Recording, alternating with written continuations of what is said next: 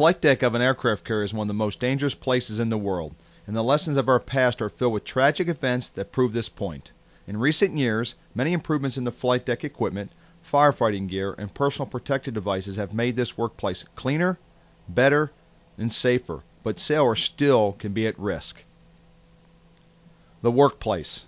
Aboard an aircraft carrier, the flight deck serves as the workplace for several hundred sailors. Although it can be a dangerous place, you will be safe provided you follow the rules. Use common sense and make operational time critical management a part of your everyday routine. You'll find an aircraft taxi around the deck, elevators going up and down, maintainers working on aircraft, jets roaring as they prepare for takeoff, and others landing with timely precision. How well you know the flight deck, the dangers, and the safe areas will dictate the level of risk you face. Know how the deck works, when you hear the 5MC scream, watch out, turning a hornet, take a look, evaluate your options, and take action to stay safe. When the air boss tells you to roll down your sleeves, check your float coats, goggles down, start them up, you want to be ready and you want to know the safe areas on the flight deck and how the deck flows. Let's take a look at the flight deck starting at the bow. There are six distinct areas on the bow catapults 1 and 2, in the 1, 2, 3, and 4 row. Working back from the bow, the area where the angled deck meets the bow is called the crotch. Across the deck you have JBDs 1 and 2, and on the far side, near the navigational pole, is the area called the point. These areas of the flight deck can be some of the most hectic areas of the flight deck. You'll see aircraft taxiing up to the cats, the JBDs will raise, and the jets get catapulted off the deck. You notice some red and white lines on the bow. These are the, called the safe shot lines. Never step across these lines when aircraft are in tension. An aircraft being launched will kill you should you stray across these lines during a launch. The adage, keep your head on a swivel, is appropriate here and almost anywhere on the flight deck. Working aft on the starboard side, you'll find elevators 1 and 2. This general area is called the corral. Inboard of the corral is an area called the street, and just like the streets in a city, traffic will flow through this area. Next is a six pack. The area is called the six pack because you normally will find six aircraft parked in this area. Working aft the six pack and in front of the island, you have the Hummer and Helo holes. That's where we parked the E2C and several H60 Helos. Behind the island is the bomb farm, and after the island, you'll find the junkyard. Just as the name implies, a lot of gear gets stored there. You'll hear calls to get the junkyard cleaned up and not to store just anything back there. As you work back toward the fantail, you first reach elevator 3, and behind it, the patio. Beginning at the crotch and running all the way through the six pack, Hummer, and helo holes, junkyard, L3, and the patio, you'll notice a red and white line. The line is called the foul line, and it marks the beginning of the landing area, or the area commonly called the LA. During recovery operations, you never cross this line without specific guidance to do so and you cross aft of the one wire, and only after receiving a signal to do so from the arresting gear officer. As you cross the LA, you'll see safe shot lines for catapults 3 and 4. Working aft, you'll see the JBDs in the port side foul line, then L4 and a small piece of flight deck called the finger, and then the LSO platform. On occasion, aircraft will be parked near or on the finger and L4 area. During landing operations, it's imperative that you only cross the LA after getting approval to do so from the AGO. You should cross after the number one wire and should cross as quickly as possible. The latest printed version of the Flight Deck Awareness Guide provides the standard procedures for crossing the LA. Read and heed these rules. The people. Many people refer to the rainbow of colors that are apparent on the flight deck. These color cranials, float coats, and jerseys signify specific duties and responsibilities. Let's take a look at some of the people who make the flight deck their workplace. Let's start in the tower. The air officer, or more commonly referred to as the air boss or simply boss, supervises and directs the overall flight deck operations. The assistant air officer, or mini boss, assists the air boss. Yellow shirts. The main function of each is the movement and handling of aircraft around the flight and hangar decks. The aircraft handling officer, or simply handler, supervises the day to day operations on the flight deck. Sitting in flight deck control, the handler is involved in every aspect of the movement of aircraft and equipment on deck. The flight deck officer is responsible for the safe operations, training of personnel, and the readiness of aircraft handling support equipment, and overall maintenance and material condition of the flight deck. The catapult officers or shooters are directly responsible for the safety of all aircraft launch operations. You'll notice that the shooters wear yellow shirts and vest and a green cranial with three orange stripes. The aircraft crash and salvage officer or air bosun supervises the crash crews and air wing personnel in aircraft firefighting and crash and salvage operations. The arresting gear officer or the hook reports to the air boss via the handler and is responsible for the safety and efficient operations of the recovery equipment and crew during recovery operations. The hook wears a yellow shirt, vest, and green helmet with three orange stripes. Plane directors also wear yellow, and they provide visual signals to air crew while directing their aircraft during taxi and hookup operations. They also ensure the safe movement of aircraft during towing and elevator operations. White jerseys. Five different groups of people wear the white jerseys. Safety officers and personnel are responsible for the overall safety of flight deck operations. They also have a green cross on their vest for easy identification.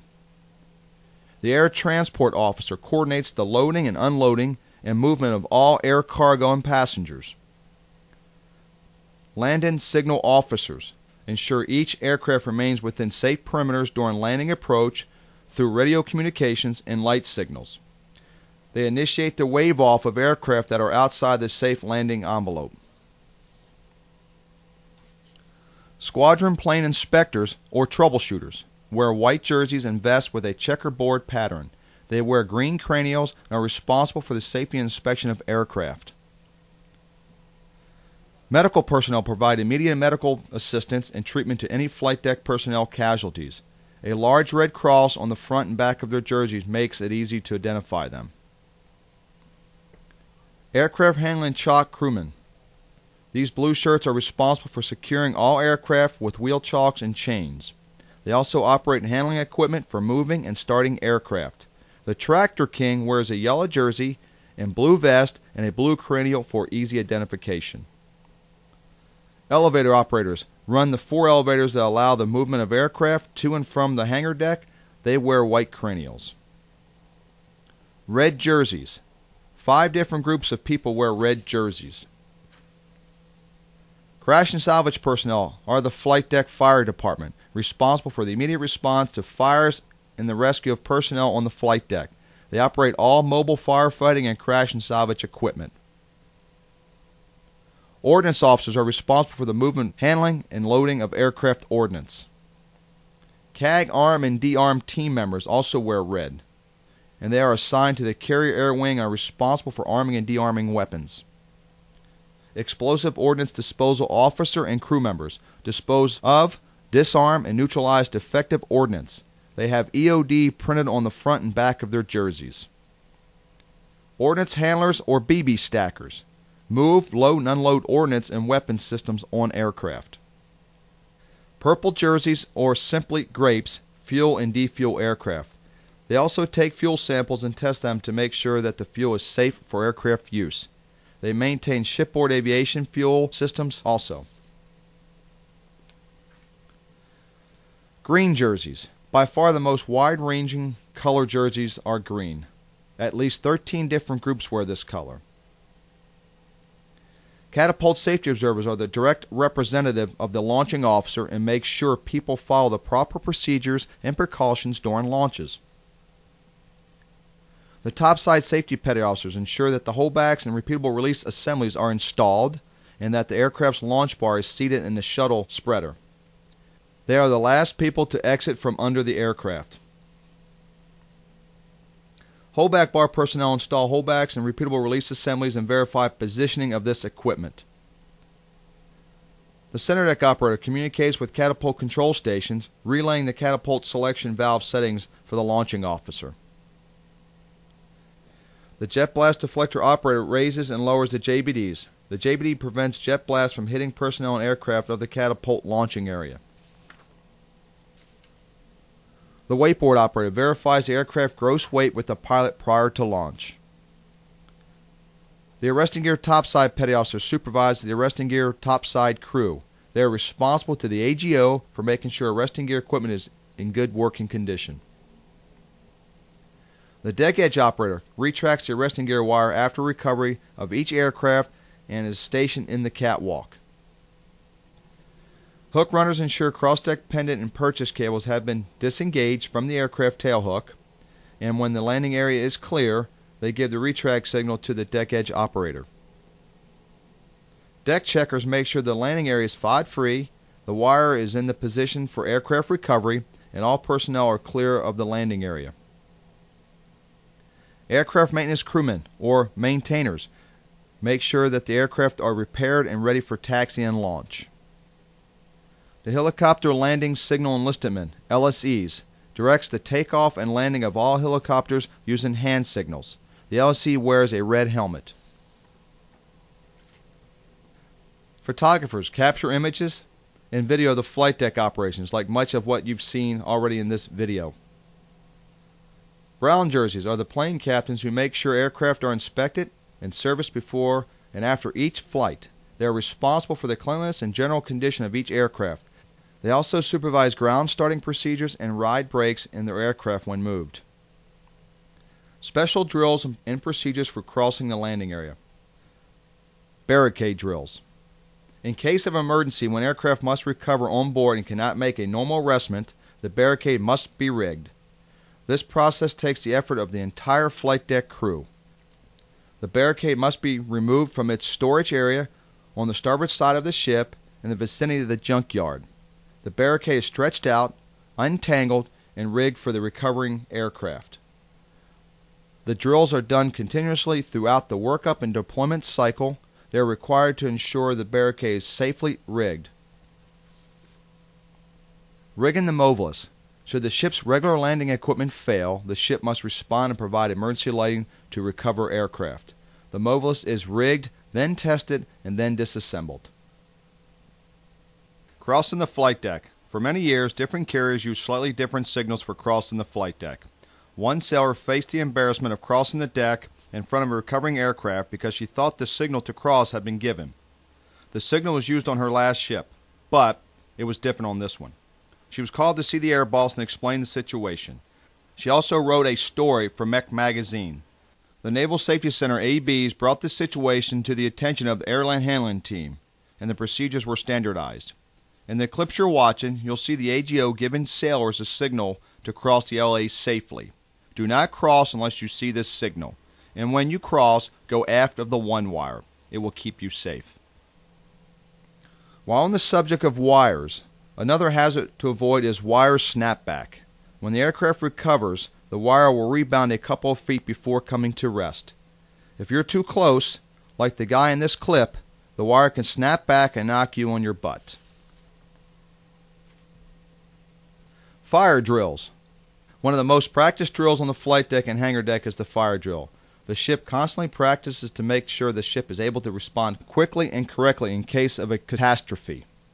There have been many cases in the past where the crew has had to respond.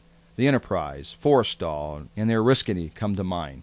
But the clip you're watching now is from the USS Lexington. A T2 Buckeye crashes into the tower. You see sailors, first, running to save their lives. But watch as they realize they have survived and they instinctively head toward the fire hoses. You must put out the fire to save the ship. That's why we practice these drills, and that's why you must participate. Don't head for the catwalks in the shop. That attitude won't save the ship when the real thing happens. Flight deck marking and firefighting equipment. Before you can fight the fire or handle other emergencies on deck, you need to know the equipment involved and where and how to find it. One easy way, whether on a hangar or flight deck, is to look for markings on the bulkhead or the deck edge scupper. Fire extinguishers, safety equipment, and even bomb disposal chutes are clearly marked. Tour the flight deck, look for these markings, and become familiar with the locations of this equipment. It could save your life and that of your shipmates. Foreign object damage, also known as FOD. FOD walkdowns are conducted prior to and after flight operations. You may be called upon to participate. FOD walkdowns mitigate the damage to aircraft and possible loss of life.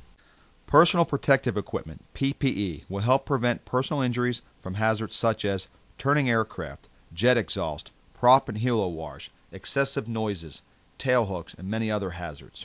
Your PPE consists of the following the flight deck helmet or cranial with double hearing protection. Over the years, many sailors and Marines have damaged or even lost their hearing from not wearing the proper hearing protection. Goggles, float coat, the flight deck jersey, fire retardant gloves, and your flight deck boots that must be steel toed. When worn properly, PP will minimize your chances of being injured. We have provided you with the necessary tools to prevent personal injuries and also improve your situational awareness in the many hazards you will encounter on the flight deck. Remember the old adage keep your head on a swivel. Good luck and stay safe.